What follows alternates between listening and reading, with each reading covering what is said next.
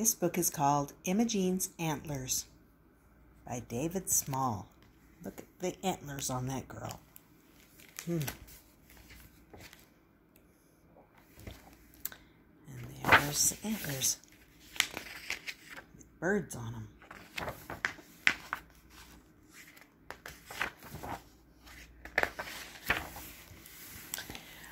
On Thursday, when Imogene woke up, she found she had grown antlers.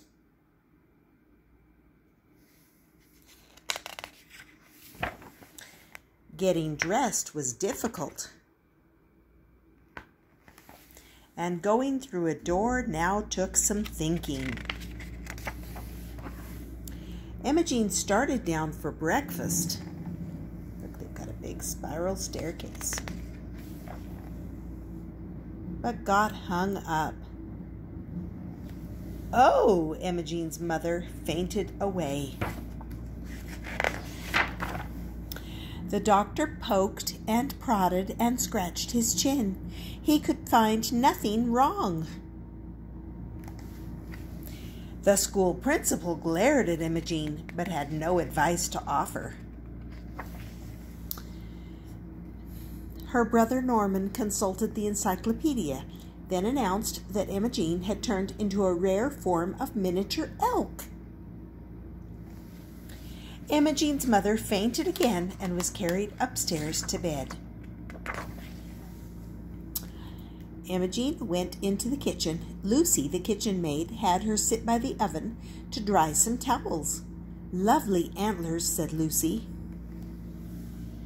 The cook, Mrs. Perkins, gave Imogene a donut, then decked her out with several more and sent her into the garden to feed the birds.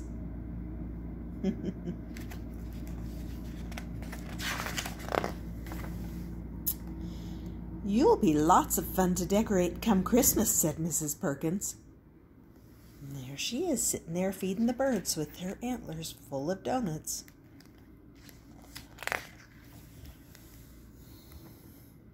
Later, Imogene wandered upstairs. She found the whole family in Mother's bedroom. Donuts, anyone? she asked.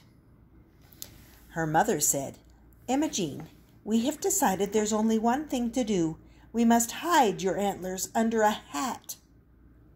Look, it says Emergency Hat Service. We hide your head in a hurry and has the phone number. So they are calling an emergency to get her a hat. At three o'clock, the milliner arrived. What's a milliner? A milliner makes hats. Rapidly, he sketched a few designs, then set to work. Voila, said the milliner. Bravo, bravis, bravissimo, said his assistants. Thud! Imogene's mother had to be carried away once more. Oh my.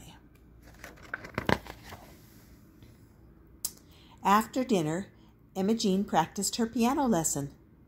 See what she's got on her antlers? A whole bunch of candles. Mm.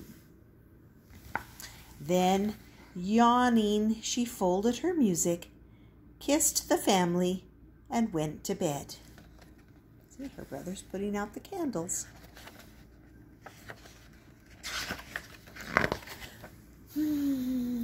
Imogene sighed, remembering the long, eventful day.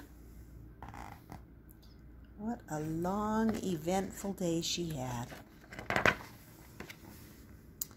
On Friday, when Imogene woke up, the antlers had disappeared. When she came down to breakfast, the family was overjoyed to see her back to normal. Look, they're so happy she's back to normal. Until she came into the room.